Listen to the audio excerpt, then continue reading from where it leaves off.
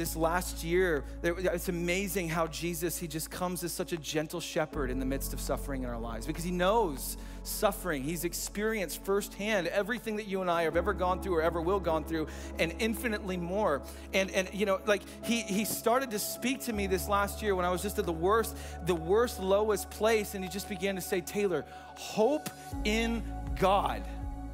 And some of you need to hear that today. Hope in God. He just began to speak that to me. Hope in God. Put your hope in me, not in your circumstances or the moment that you find yourself in. Put your hope in God. And so I began to just like ask Jesus. I was like, what is hope? Like, what does that even mean? I don't even know what that means. And the Holy Spirit spoke to me so clear with this definition. It came all in a moment and it changed my life. And he said this Hope is the expectation of the coming goodness of God in the midst of the pressure. That's what hope is. It's Psalm 27. It's your circumstances are rough right now, right?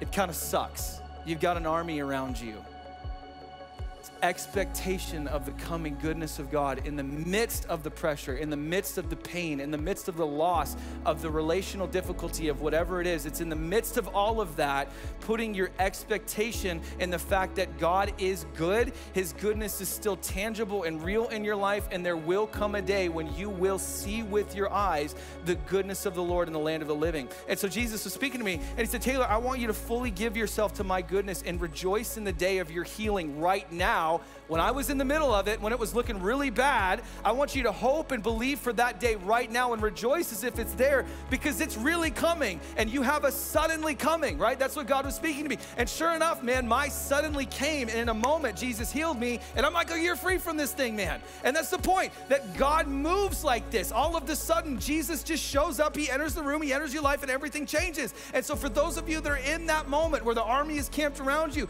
God wants to put steel in your spine mind today, and He's speaking over you, and He's saying, Hope in God. You will see the goodness of the Lord in the land of the living. It's coming for you. Stand with David, man. Give yourself to the promise of what God has spoken over your life. This is why you can get out of bed in the morning, man. Your circumstances change, your life change changes, right? God never changes and He is always faithful.